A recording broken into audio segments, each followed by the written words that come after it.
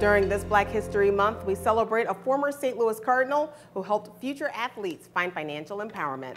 In 1970, the outfielder Curt Flood sued Major League Baseball to overturn the reserve clause, which bound a player to a team until he was either traded or released. Flood suffered backlash because of his efforts and retired in 1971. The following year, the case went to the Supreme Court and Flood lost. Curt Flood died in 1997, but his fight continued.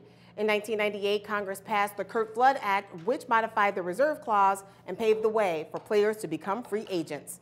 In 2011, HBO Sports told the player's story in the documentary, The Curious Case of Curt Flood.